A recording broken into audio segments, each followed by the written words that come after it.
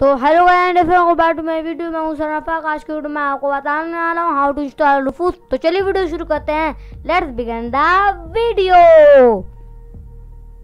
सबसे पहले आपको गूगल क्रोम ओपन कर लेना है। और यहाँ पे टाइप करना है रूफूस और इसको एंटर कर लेना है। जो आपको पहली लिंक दिख रही है इस पर आपको क्लिक करना है। और यहाँ से आपको नीचे आना है। इधर आपको एक डाउनलोड का ऑप्शन दिखेगा। उस पर इसके नीचे आपको Rufus three point eighteen portable पे आपको क्लिक कर देना है, क्योंकि ये नया वर्जन है। तो मैं इस पर क्लिक करता हूँ तो मुझे यही डाउनलोड करना है। अब मिल इधर रूफ इंस्टॉल होने लगा है। अब मिलता है आपको रूफ इंस्टॉल होने के बाद।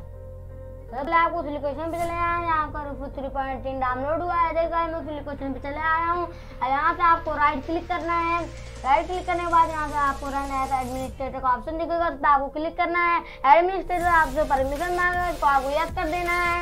यहाँ से आपको नो पे क्लिक करना है। ये देगा हमारा रूपो इंस्टॉल हो चुका है।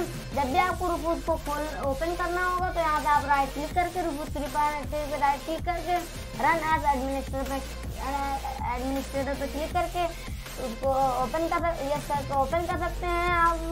तो गाइस आज के लिए बस इतना ही। मैंने आपको रुको इंस्टॉल करना बता दिया है। लाइक आज के लिए बस इतना ही। मिलता है आपको किसी नए वीडियो में। लाइक शेयर सब्सक्राइब मिलता है आपको किसी नए वीडियो किसी नए टॉपिक तब तक के लिए बाय बाय गुड बाय